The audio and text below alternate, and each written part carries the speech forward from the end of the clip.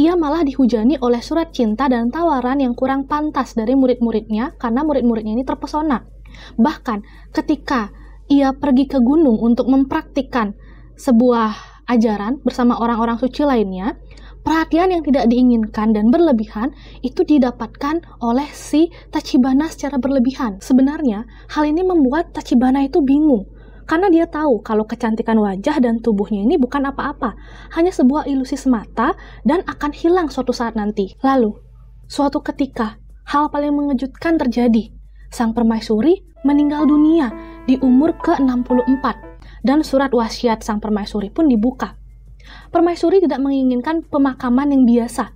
Ia menginginkan agar tubuhnya dilapisi dengan kain paling sederhana dan dilemparkan ke jalanan.